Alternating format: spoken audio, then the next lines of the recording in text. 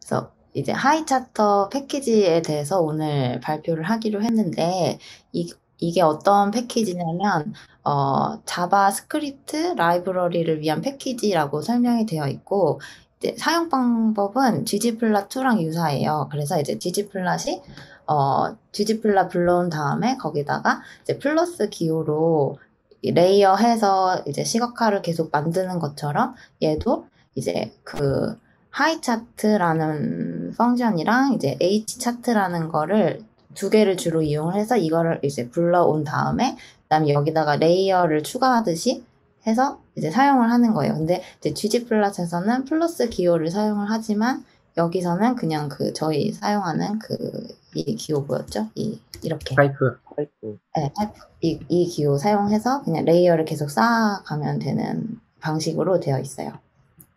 그래서 이제 공공 이용은 유료로 구매를 해야 되고 이제 그냥 개인이나 비영리 목적은 무료 사용이 가능하다고 되어 있더라고요.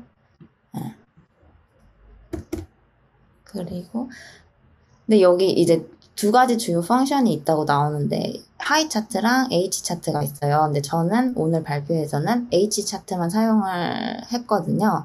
근데 하이 차트는 이제 어, HTML 위젯이라는 거를 사용을 해서 사용할 수 있다고 이제 명시되어 있고 이 위젯이 R 마크다운이랑 샤인이랑 이제 다른 어플리케이션으로 이제 같이 융합돼서 렌더링 될 수 있다라고 설명이 되어 있는데 저는 사실 이 두 개의 차이를 이제 글로는 잘 모르겠더라고요. 그래서 이 부분은 앞으로 더 찾아봐야 될 것 같아요. 음. 그래서 저는 오늘 이 H 차트 두 번째 있는 function만 사용을 해서 이제 시각화를 만들었습니다.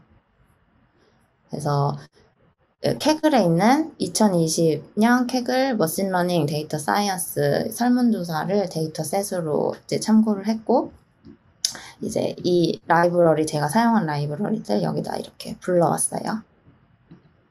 그리고 어, 그러니까 어, 여기서 지금 참고 링크에서 두 개는 Kaggle의 노트북이고 이제 하나는 하이차트 공식 사이트고 이제 마지막에 있는 거는 Highcharts를 이제 R에서 사용할 수 있, 있도록 이 사람 개발자인가 봐요. 그래서 이 사람 이 링크를 저는 참고를 했어요. 그래서 했고 그 일단 처음에 dataset이 어떻게 생겼는지 보여드리려고 이렇게 가져왔는데 어, 이, 이상하게 엄청 느리네요. 그래서 이 dataset이 이제 어, 이 첫 번째 칼럼은 어, 이 설문조사를 응답하는데 얼마만큼의 시간이 걸렸는지 그거를 표시하고 있는데 이거는 거의 사용을 안 했고 이제 question 1번부터 이렇게 쭉 question이 있어요.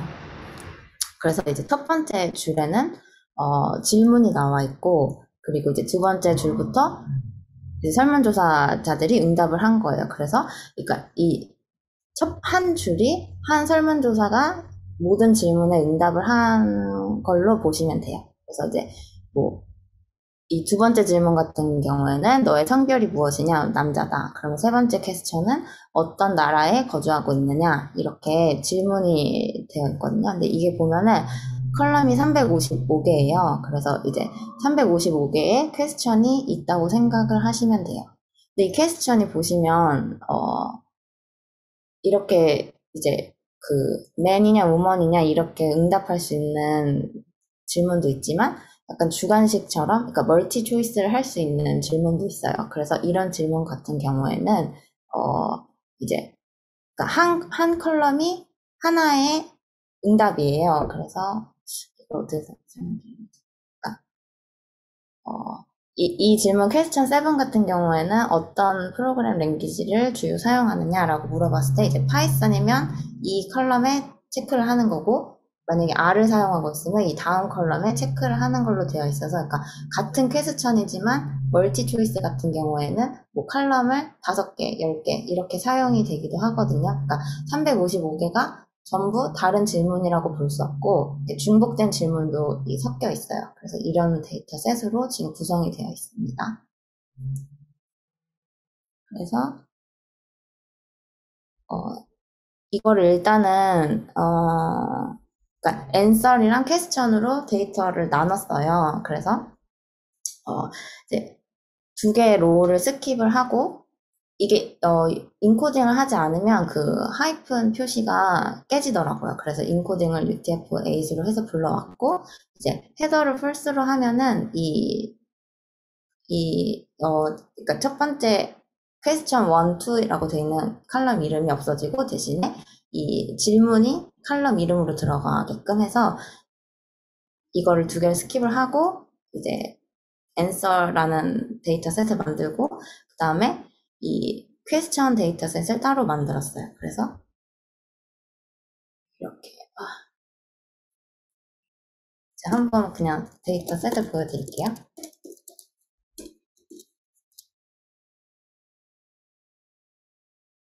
이렇게 answer는 이제 답, 답변만 모아져 있는 dataset이고 question 같은 경우에는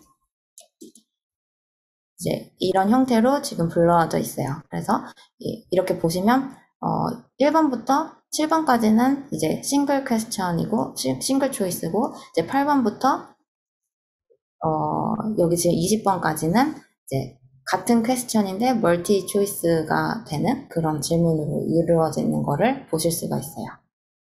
이렇게 지금 dataset을 질문이랑 answer로 두 개로 분류를 했고 아, 좀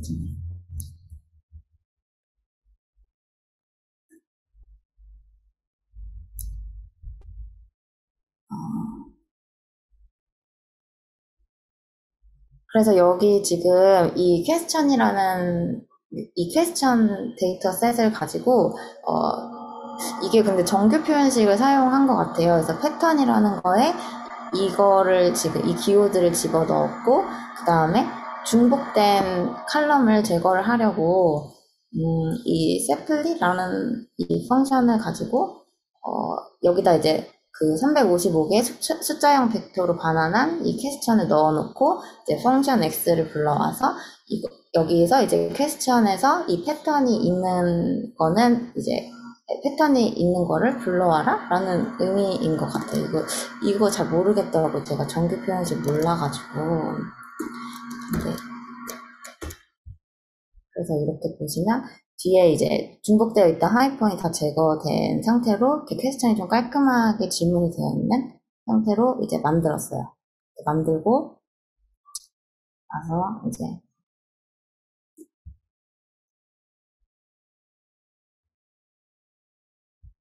다음에 이거를 이렇게 지금 저 중, 뭐, 이렇게 뒤에 하이픈, 하이픈이 있는 부분을 제거를 한 이제 data set을 퀴즈라는 거에다가 이제 설정을 하고, 그 다음에, 어, 이거를 single question이냐 multi question이냐를 분류하기 위해서, 어, 그러니까 이 하이픈이 제거된 상태에서는 앞에 있는 question이 다 이제 동일한 question이 있잖아요. 그래서 거기서 이제 unique한 것만 추출을 해서 data frame을 다시 만들어요. 그래서 그러니까 그 한 질문이 몇 번 반복됐느냐를 지금 보려고 이렇게 만드는 거거든요. 그래서 이렇게 보시면 어, 중복된 질문이 제거돼서 다 unique한 질문만 이렇게 남은 상태가 돼요. frequency set에 보면은 그래서 이거를 처음에 만든 question 이 퀴즈라는 칼럼이랑 이너 join을 해서 만들어요. 그러면 음, 지금 이제 인덱스는 question 질문이 들어가 있고, 넘버가 들어가 있고, 그리고 question에는 질문이 들어가 있고, 그리고 이제 frequent는 보면은, frequency는 한 질문이 몇 번 반복되어 있느냐, 이렇게 되어 있어서, 이거를 이제 색깔을 넣어서, 이렇게 만들어줘요. 그러면 question type이라는 column을 이제 새로 만들어서 여기 이제 어, frequency가 1이면 single choice, 이제 1이 아니면 multi choice로 보이도록 만들어요. 그러면 이 질문 같은 경우에는 이제 13번 반복이 되었다는 뜻이니까 답할 수 있는 multi choice가 13개가 있었다는 의미거든요. 이렇게 지금 question을 한번 쭉 리뷰할 수 있도록, 오버뷰 할 수 있도록 이 사람이 먼저 question에 대해서 dataset을 설정을 하고 어, 들어가더라고요. 그래서 어, 이거를 그냥 이 kableExtra라는 패키지로 이제 예쁘게 좀 출력이 되도록 이렇게 만들어요. 그래서 어, 보시면은 어, 이 총, 총 질문이 지금 45개의 질문이 있다고 보시면 되고, 그러니까 실제 칼럼은 355개였지만 거기에서 중복되지 않는 unique한 question은 45개, 그리고 이제 single choice가 뭐, 뭐가 있는지, multi choice가 뭐가 있는지 이렇게 한 번에 볼 수 있는 테이블이 만들어져요. 그래서 이거를 참고해서 음, 하이퍼 차트를 네, 보여드릴게요. 그래서 이제 처음에 그 answer를 따로 뺀 dataset에다가 이제 어 그러니까 V3 칼럼만 추출을 하면 이 퀘스트 그러니까 여기서 첫 번째 아까 첫 번째 칼럼은 응답하는데 걸린 시간이었으니까 그 question은 없다고 생각을 하고 이제 V3 같은 경우에는 마이너스 1을 해서 question 2에 대한 응답이 되는 거예요. 그래서 question 2를 보면은 이제 아이고, 너의 성별이 무엇이냐라는 질문이고 이제 그거에 대한 답이 이제 V3 칼럼에 나와 있는 거죠. 그래서 이거를 이제 man과 woman이 몇 개나 나오는지 카운트 함수를 써서 이제 출력을 하고 거기다가 이제 H 차트를 적용을 시키는 거예요. 그래서 이 H 차트 펑션은 이제 원래 처음에는 데이터 셋을 설정을 하고 그 다음에 어떤 형태의 이제 시각 어떤 형태의 그래프를 가져올 것인지 여기다가 이제 이 두 번째에 입력을 하고 그 다음에 이 HCAES라는 거는 그 gg플랫에서 이렇게 저희가 x, y 지정을 하는 것처럼 여기서는 이 펑션을 사용을 하더라고요. 그래서 x축에는 v3 칼럼을 사용을 할 거고 y축에는 저는 이제 이, 이 n이라는 칼, n이라는 어, 칼럼이 생겼으니까 이거를 집어 넣어서 그래프를 만들겠다라고 명령을 해주면 그리고 그냥 컬러는 오렌지 색깔로 이렇게 넣었어요. 이렇게 하면은 이런 그래프가 이제 하이차트 패키지로 그래프를 그리는 게 생성이 되는 거예요. 그래서 이렇게 만들어도 되고 어, 제가 어, 처음에 말씀드린 것처럼 그냥 이제 어, 이거를 제가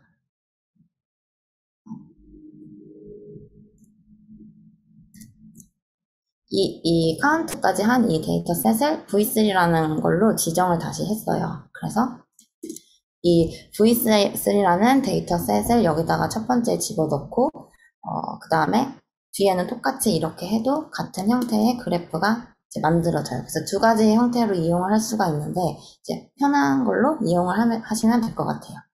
이렇게 처음에는 이제 가장 기본적인 bar chart를 보여드렸고 이제 이 bar chart를 가로 세로로 바꾸려면은 음, 여기 이 바 형태의 그래프라고 아까 설정을 해줬던 거에 칼럼이라고 집어 넣으면 이렇게 X축이랑 Y축이 바뀌어서 그냥 생성이 되더라고요. 그래서 가로 세로를 바꿀 때는 이렇게 사용을 하실 수가 있어요.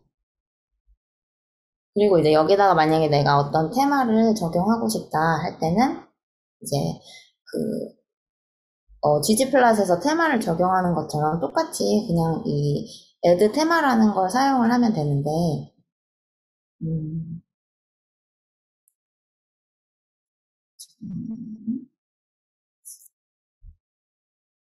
어, 그리고 여기다 만약에 중간에 어, 이렇게 차트를 만들었을 때 이렇게 커서를 마우스를 이제 오버하면은 여기에 이제 코멘트가 tooltip 같은 게 나오잖아요. 근데 여기에 있는 이 이름을 만약에 변경하고 싶다. 보통 기본적으로 그냥 시리즈라고 나오거든요. 근데 이 시리즈의 이름을 변경하고 싶다 할 때는 여기다가 이제 이렇게 name이라는 거를 지정을 해주면 이 이름이 변경이 되, 됩니다. 이렇게 컬러를 변경하는 것처럼 똑같이 변경하실 수가 있고 그리고 이 add 테마라는 걸 해서 제가 마음에 드는 테마를 이 홈페이지 가면은 검색을 할 수가 있어요. 그래서 이렇게 그냥 집어 넣어주면 되거든요. 그래서 이렇게만 하, 면은 이제 이렇게 테마가 적용된 그래프로 바뀌어요. 그래서 여기다 저는 이제 X축에다가 어, gg플랫처럼 마찬가지로 x축, y축에 대한 설정을 지정을 해줄 수가 있는데 지금 저는 x축을 지정을 해준 거고 만약에 또 y축도 변경하고 싶다 그러면 이렇게 x, 아니, y x 이렇게 해서 이제 또 설정을 해주면 y축도 바뀌는 거를 보실 수가 있어요. 이렇게 테마를 적용하시면 되고 X축, Y축이 바뀌어 있네요. 그죠? 어, 네네 그래요 맞아요. 어, 그, 테마 한번 그 홈페이지 가서 확인해 주시면 안네 될까요? 보여드릴까요? 어떤 테마 있는지? 네. 음, 테마가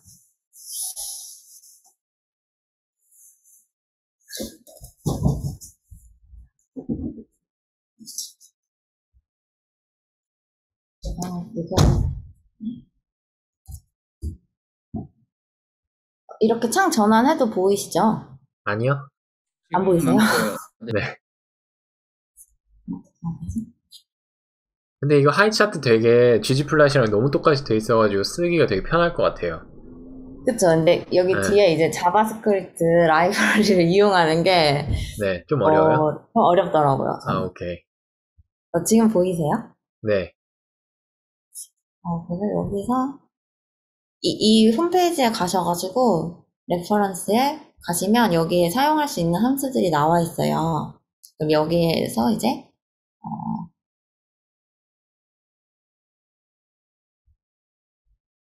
여기 저는 띵 여기에서 봤거든요. 그래서 이제 이 함수를 사용을 해서 이 가로 사이에 제가 원하는 테마를 넣어주면 돼요. 근데 제가 원하는 테마가 이제 여기서 고르시면 되거든요. 뭐 언론, 블룸, 초크 이렇게 다 이게 테마예요.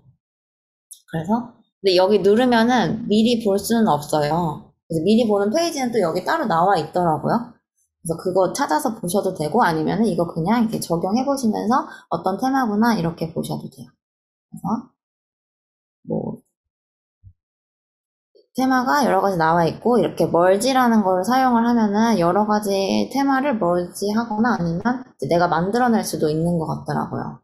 그래서 만약에 이 블룸이라는 거를 하겠다 하면은 어, 보이시죠? 네. 그래서 여기다가 방금 그 선수를 이렇게 그냥 붙여넣기 하면은 이렇게 테마가 그냥 바뀌어요 쉽게 그래서 그 지지플라처럼 똑같이 사용을 하시면 돼요 그리고 어, 이거는 다른 테마 적용하면 이렇게 바뀐다라고 제가 보여드리려고 한 건데 방금 이제 했으니까 넘어갈게요 그리고 word cloud 형태로도 그래프 이제 시각화할 수 있는데 원래 word cloud가 어떤 키워드가 있는지 리뷰를 하려고 사용하는 거지만 저는 그냥 이제 보여드리려고 question 하나를 가지고 왔어요. 그래서 어, 어떤 product를 이제 주로 사용하는 하느냐 이렇게 설문조사들한테 물어봤을 때 이거를 이제 저는 이 데이터를 이렇게 이 question이 에 대한 응답이 이제 V156부터 174까지가 이거에 대한 응답이거든요. 이거를 가져와서 이거를 그냥 피벗으로 이렇게 가져와요. 그래서 이제 NA, NA는 drop을 시키고 어 이거를 이렇게 피벗 형태로 가져오면은 이렇게 모양이 형성이 되잖아요. 이제 여기에서 이제 각각의 값들이 몇 번 나왔는지 카운트를 해서 이렇게 만들어요. 그래서 이 이제 아마존 이, 이 상품을 product를 사용한다고 응답한 사람이 이제 385번 응답을 한 거고 이렇게 카운트 된 거를 데이터 set으로 지정을 해서 이거를 그냥 아까 bar, bar그래프 사용한 것처럼 그냥 똑같이 데이터 입력하고 어떤 형태로 쓸 건지 입력하고 여기다가 이제 그 입력을 해주면 돼요. 그래서 그냥 간단하게 이렇게 하면은 바로 만들어지더라고요. 그래서 이제 MySQL을 가장 많이 사용하고 뭐 마이크로소프트 그 다음으로 사용하고 뭐 이런 식으로 화면에 보실 수가 있어요. 그리고 이제 treemap도 똑같은데 어, 얘는 이제 Q16에 그냥 multi choice가 가장 많은 걸 제가 가져왔던 것 같아요. 그래서 얘는 이제 똑같이 67부터 82번째 칼럼까지가 응답한 거였고, 이걸 똑같이 피벗으로 가져와서, 이제, 그, 여기서는 데이터set 지정을 안 하고, 그냥 바로 이제 H 차트를 했어요. 그래서 treemap 똑같이 이렇게 하면은, 이렇게 변경이 돼요. 근데 만약에 여기다 컬러를 지정하지 않으면 그냥 이렇게 단일 색으로 어, 어. 단일 색으로 나타나거든요. 근데 여기다가 만약에 내가 이제 컬러를 놓고 싶다 하면은 여기다가 음, 이렇게 지정을 해주면 됩니다. 네, 그러면 이렇게 그라데이션으로 네, 색깔을 볼 수가 있어요. 근데 이 색깔을 바꾸고 싶었는데 바꿔지지 않더라고요. 그래서 그냥 이렇게 가져왔고 음, 여, 이거는 이제 어, 선벌스트 차트라고 해서 어, 이 형태의 차트를 사용을 하는데 이, 이 함수를 써서 좀 어려워서 제가 하다가 일단 여기는 시간이 안 돼서 못했어요. 그래서 다음에 만약에 하게 되면 업그레이드해서 공유하도록 하겠습니다. 그리고 아이콘 차트라는 게 또 있는데 이제 두 번째 질문이 여자인지 남자인지 응답해달라는 질문이었잖아요. 그래서 이거를 어, 아이콘 차트로 사용을 할 수가 있는데 어, 이 지금 여기서는 하이 차트를 안 쓰고 이 함수를 썼거든요. 근데 이 이게 지금은 사용하지 않는 함수래요. 없어졌대요. 그래서 지금은 하이 차트를 써서 거기다가 이제 그 아까 여기에 지정을 했듯이 여기다가 아이템이라는 거를 지정을 해서 사용을 하면 된다고 나와 있는데 저는 이게 안 되더라고요 출력이 그래서 이제 지금 찾다가 오늘 못 찾았는데 일단은 이 이게 원래 이렇게 아이콘을 메일이랑 피메일로 지정을 하면 메일 아이콘, 피메일 아이콘 이렇게 나와야 되는데 그게 지금 없어졌고 어, 이제 H 차트 이렇게 해서 똑같이 데이터set 입력하고 이제 아이템 이렇게 해가지고 사용을 해야 하는데 제가 이거 안 돼서 찾으면 나중에 다시 공유를 하도록 하겠습니다. 근데 이제 treemap 같은 경우에도 지금은 저희가 이제 hchart에 treemap 이렇게 지정을 했는데 원래 다른 함수가 있었나 봐요. 트리 이렇게 H H H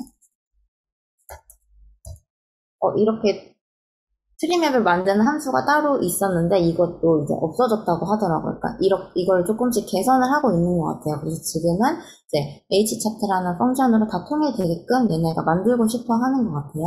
그래서 얘도 지금 H트리 이 함수는 없어져서 사용을 안 하는 것처럼 이제 아이콘 차트도 없어져서 이제 그냥 이 아이템 펑션으로 사용을 해라 라고 권고를 하고 있더라고요. 이거 나중에 쉐어하도록 하겠습니다. 이제 에리아 차트도 만들 수가 있는데, 어, 이게 보시면은, 제가 잠시, 얘를,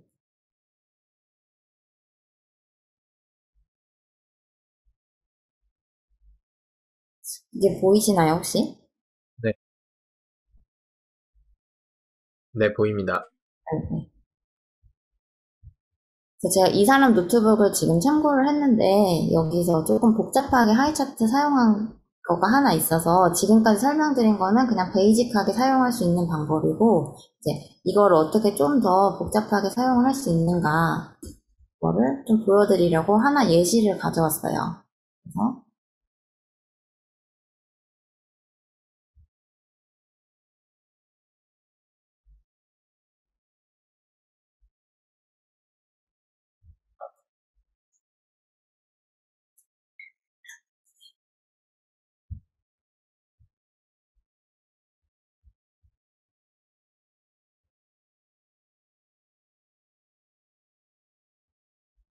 여기에 보시면 이거 아까 sunburst 차트 제가 아직 못했다고 한 거 이런 형태로 지금 출력이 되거든요.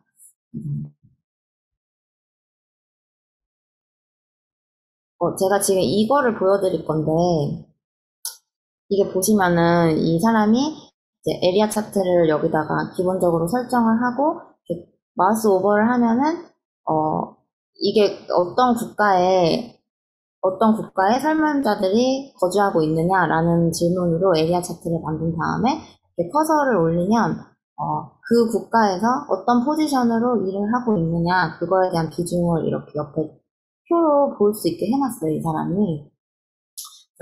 이거를 보여드리려고 하는데 이거를 이 사람이 그 JavaScript 라이브러리를 사용을 해서 했거든요. 그래서 어, 떤 식으로 했는지를 잠깐 설명을 하자면 어, 아까 이 홈페이지 있잖아요. 이 개발자가 만들었다는 이 HTML 홈페이지에 가시면 여기에 이제 그 아, article에 어, 자바스크립트 API 베이직이라는 게시판이 있어요. 그래서 여기에 가시면 이제 어, 어떻게 사용하는지 간단하게 설명을 해놨는데 이제 이 우리가 어떤 그래프를 시각화하고자 할 때 조금 더 customizing을 하고 싶으면 그 JavaScript 라이브러리를 당신이 사용할 수 있다. 이렇게 설명을 하고 있어요. 어떻게 사용을 하냐면 이제 저희가 그 R에서 이 함수에 대한 만약에 여기다가 이 그래프에 legend를 삽입을 하고 싶어요. 그러면 어, 그 R에다가 물음표를 하면은 이렇게 어떻게 사용하는지가 나오잖아요. 근데 이 설명이 충분하지 않다고 얘기를 해요. 그래서 이거를 그냥 봤을 때는 어떻게 사용하는지 알 수가 없다. 그래서 어, 조금 더 detail하게 알고 싶으면 이 홈페이지가 있거든요. 이 자바스크립트 API 레퍼런스라는 사이트가 있어요. 그래서 여기를 가시면 이 왼쪽에 내가 사용하고자 하는 함수를 여기서 검색할 수가 있어요. 그래서 이 레전드 관련해서 이런 옵션을 제가 적용을 할 수가 있는 거예요. 그러면 이제 내가 적용하고 싶은 옵션을 클릭을 했을 때 이 오른쪽에 설명이 나오거든요. 그래서 이 오른쪽에 설명이 나오고 어, 이 글로 설명되어 있는 걸 보고 이해가 안 갈 때 이 예시로 되어 있는 이 부분을 클릭을 할 수가 있어요. 그러면은 어떻게 나오냐면요.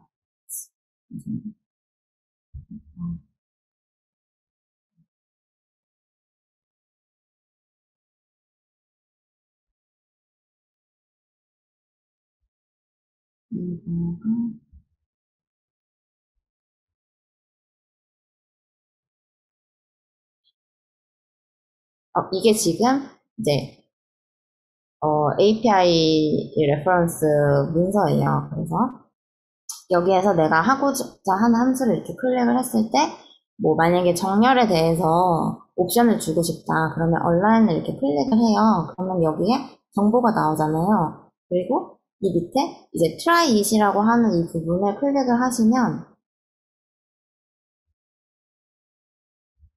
이렇게 JavaScript가 여기 보시면 코드가 나와요. 어떻게 JavaScript 코드가 여기에 들어가 있는지. 여기 샘플이 나오거든요.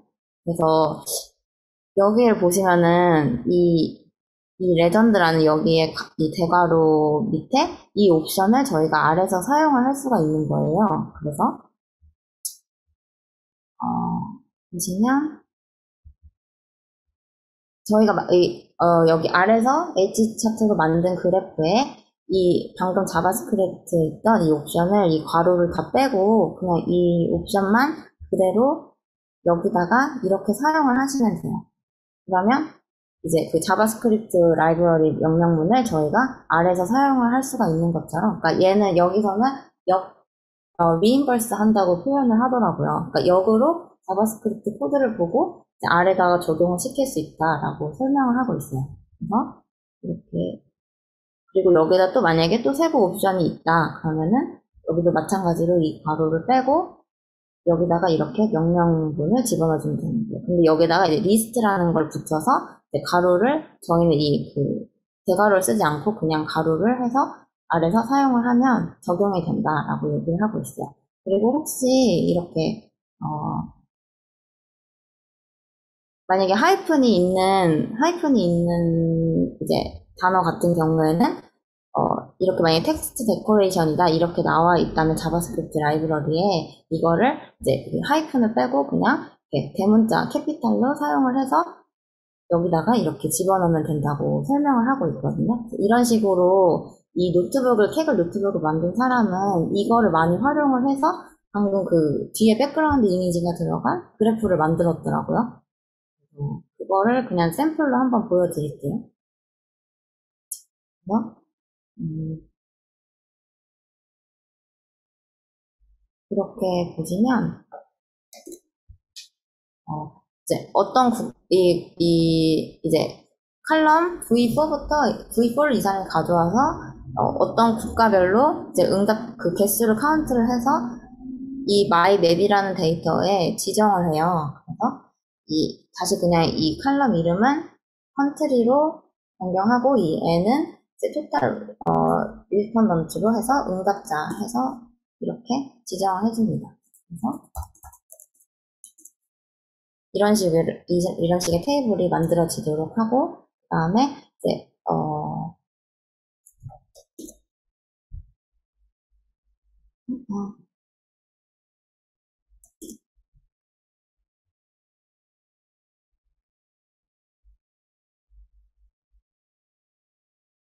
이렇게 해볼게요.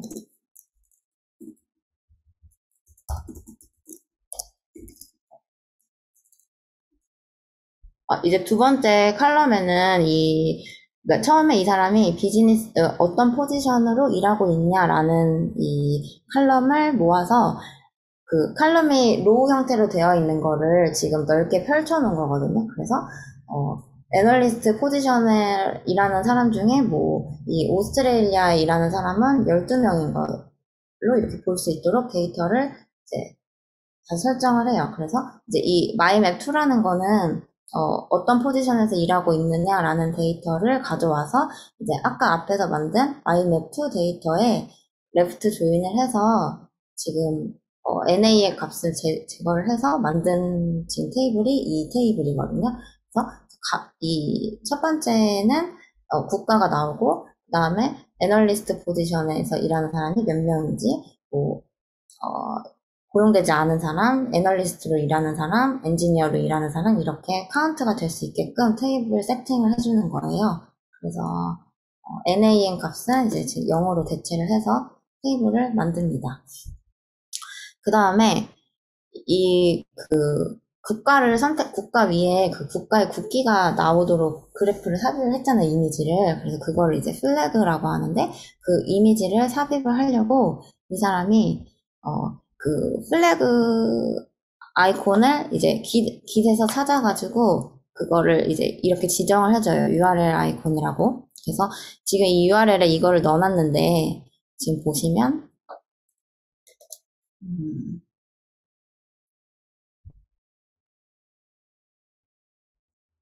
어, 잠시만요.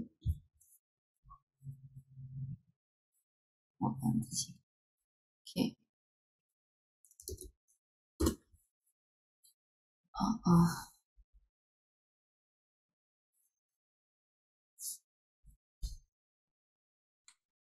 여기까지가 지금 이 아이콘의 링크예요.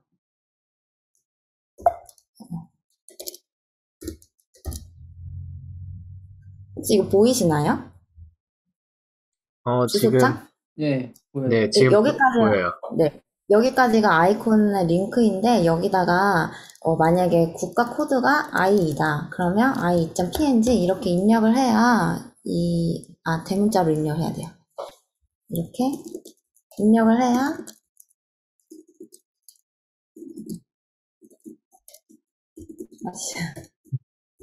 i 됐죠? 이 보이시나요? 네, 네. 네, 이렇게 아이콘이 뒤에 아이콘 그 국가 코드를 입력을 해야지 이게 보여요. 근데 저는 처음에 이게 너무 아이콘이 작아서 더 좋은 화질로 하려고 큰 이미지를 찾았어요, PNG를. 근데 큰 이미지로 넣으니까 여기 사이즈 조절이 안 되더라고요. 이 그래프에 삽입을 하는 게. 그래서 이 사람이 어떻게 이렇게 딱 맞는 사이즈의 아이콘을 찾았는지 신기했는데 결국에는 이 사람이 사용한 이 링크를 그냥 저도 똑같이 사용을 했어요. 근데 만약에 다른 아이콘을 사용하고 싶으시면은 그냥 구글에다가 뭐 어, 어, flag icon 이렇게 치면은 되게 많이 나와요.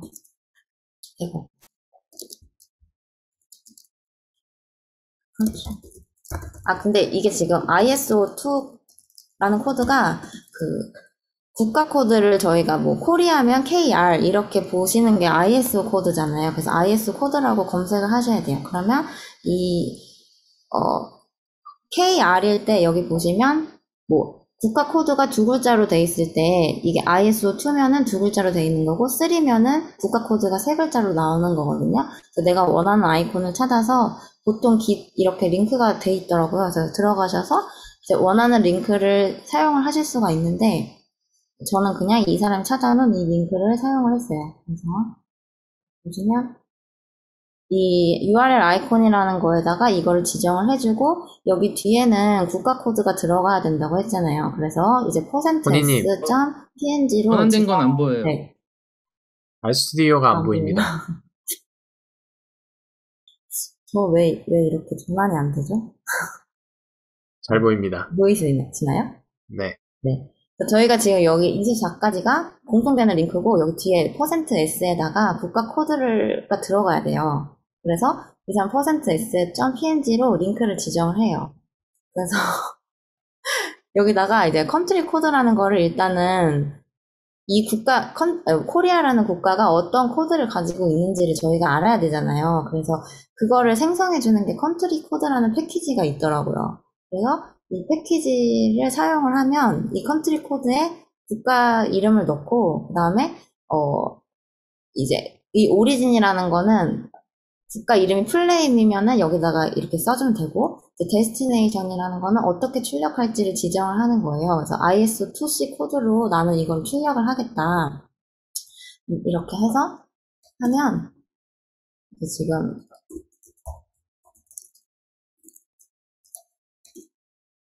보시면 이렇게 지정이 지금 자동으로 나오죠. 근데 만약에 여기다가 ISO 3C라고 하면 그 세, 세 글자의 코드로 이게 출력이 되는 거예요. 그래서 이 지금 칼럼을 country code라는 칼럼을 만들고 그 다음에 거기다가 이제 어, 이 두 개의 칼럼을 또 만들어요. 그래서 이, 이 여기에다가 보시면은 저는 또 이 부분이 어려웠는데 근데 보시면은 어 제가 그냥 완성된 거를 보여드릴게요.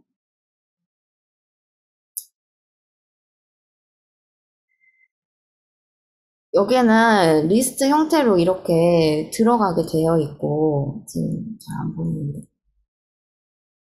그리고 flag icon이라는 이 컬럼에는 아까 그 지정한 URL 있잖아요. 그 URL에다가 이 뒤에 보시면 국가 코드가 다 들어가 있어요. 그래서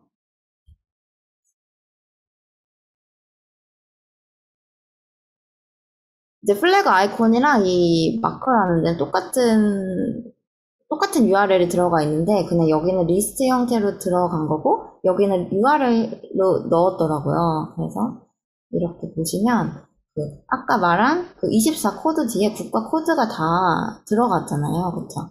이렇게 일단 지정을 해요. 이 사람이. 그리고 음 근데 여기에 이제 정규 표현식을 사용을 해서 이렇게 한 것 같은데 이 부분이 저는 이해가 잘 안 갔어요. 그래서 일단 그냥 따라 했고 어 이제 여기다가 네 United Kingdom은 이제 UK로 하고 이제 United State는 USA로 되도록 이제 해서 여기 약간 그 수동으로 설정을 좀 해서 어 하고 이제 그 total 응답자 수가 250명 이상인 것만 출력을 해요. 일단은 이 응답자 수가 높은 순서대로 이제 arrange를 한 다음에 여기다가 이제 250명 이상이 응답한 거를 필터를 걸어 걸면은 이제 18개의 국가가 출력이 되거든요. 그러니까 어 그냥 탑탑 뭐 18 이렇게 출력을 하는 함수를 써도 될 것 같은데 이 사람은 그냥 이 응답자 수로 이거를 필터링을 했더라고요. 그래서 이렇게 하시면은 이 myMap2라는 이제 데이터에 18개의 국가만 이렇게 뜨게 되어 있어요. 그래서 어, 각각의 국가에서 어떤 포지션으로 일하는 사람이 얼마나 분포되어 있는지 이렇게 하고 국가 코드랑 이 국가 코드를 합쳐서 URL을 만든 이 테이블이 완성이 돼요. 그래서 이, 이걸 가지고 이제 어, 요거는 좀 이따 설명할게요. 그 다음에 이 background 이미지에 쓸 거를 이제 JPG 파일로 여기다 가져오거든요. 그래서 구글에 내가 원하는 이미지 치면은 그 이미지 오른쪽 마우스 클릭할 때 그 이미지 링크 복사하기가 있잖아요. 그걸로 해서 뭐 JPG 형태나 PNG 형태인 거를 여기다 지정을 해주면 되는 것 같아요. 저는 PNG도 해봤는데 둘 다 되고 그래서 그 이미지를 일단 가져온 다음에 음, 이 하이 차트에서 일단은 이제 area 그래프를 만들어 주는 거예요 처음에. 그래서 이렇게만 해도 일단은 그래프가 처음에 형성이 돼요. 그래서 이렇게만 하고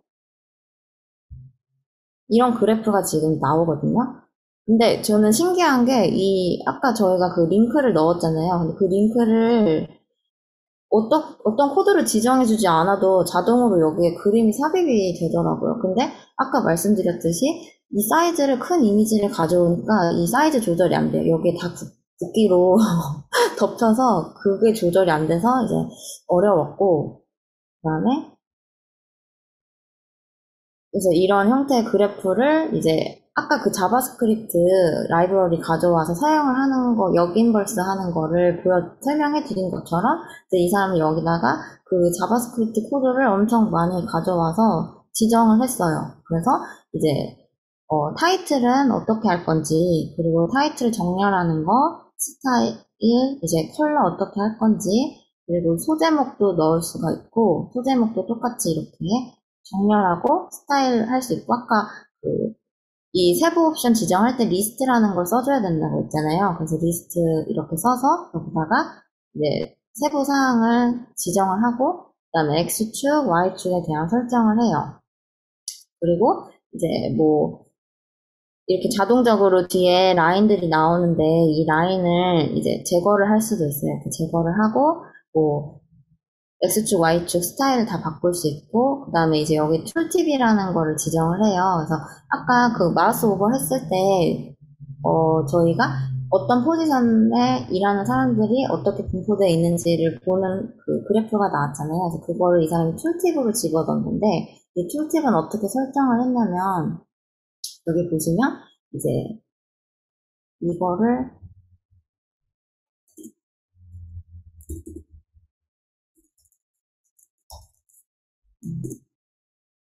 이렇게 가져와요. 칼럼에서 이제 어, mymap2에서 아까 두 번째부터 15번째 칼럼까지를 가져오면 이런 형태가 이제 나오잖아요. 그 name, column name을 가져오면. 그래서 이거를 이, 여기다 지정을 하고, 그 다음에 이 tooltip table이라는 함수를 써서 이거, 이, 이 이제 그 벡터들을, 이, 이것들을 우리가 만들 수가 있는 거예요. 테이블 형태로. 그래서 지금 이렇게 가져온 이걸 여기다 놓고, 그 다음에 스프린트 EF 함수를 써서, 어, 이렇게 가져옵니다. 그래서, 어, 보면은, 이런 식으로 지금 만들어요. 이 TT라는 거에 지정을 해요. 그래서, 어, 애널리스트, 그리고 이제, 어, 여기다가 이제 이렇게 설정이 되도록 이렇게 합니다. 그래서 이런 형태를 그냥 만들어서 이 사람이 tooltip에다가 집어넣어요. 그래서 point format이라는 거에다가 TT를 지정하고 이제 헤더 포맷에다가 뭐 as character 해서 이렇게 가져와요. 그, 그리고 포지션 어떻게 할 건지 이렇게 설정을 하고 이 자바스크립트 코드를 가져와서 여기다가 설정을 하더라고요. 뭐, 뭐 이, 이거를 코드를 집어넣으면 HTML 형태로 그렇게 여기 이제 원래 square로 돼 있었는데 round로 바꿔도 모양이 바뀌지 않더라고요 저는 그래서 이렇게 그냥 했고 뭐 사이즈 사이즈는 전체적인 이 그래프의 사이즈를 어떻게 지정할 건지 여기 설정할 수 있고 크레딧은 또 크레딧 이렇게 집어넣는 옵션이 있더라고요 그래서 이렇게 하면은 음, 그러니까 저는 이 그냥 영화 포스터를 했는데 이렇게 보이시나요?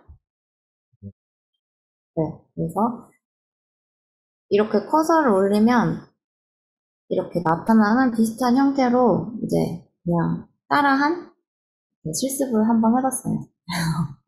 서서 올린 거 잘 안 보여요. 안 보이세요? 아닌가? 저만 안 보이나요? 이렇게 하면 보이시죠? 네. 아, 네. 오케이. 이렇게 하시면 이렇게 똑같이 그래서 여기 지금 tooltip에 있는 백그라운드도 다 바꿔줄 네. 수 있고 어, tooltip에 지금 맨 위에 터키 이렇게 나오잖아요. 국가 이름 이것도 지금 타이틀을 여기다가 다 집어 넣은 거예요. 그래서 이게 엄청난 수작업이더라고요. 그래서 여기다가 이제 아까 header format 지정한 거에다가 이제 지정을 해서 이렇게 국가 코드가 지금 나오는 거거든요. 이렇게 프랑스, 타이완 이렇게 음. 이런 식으로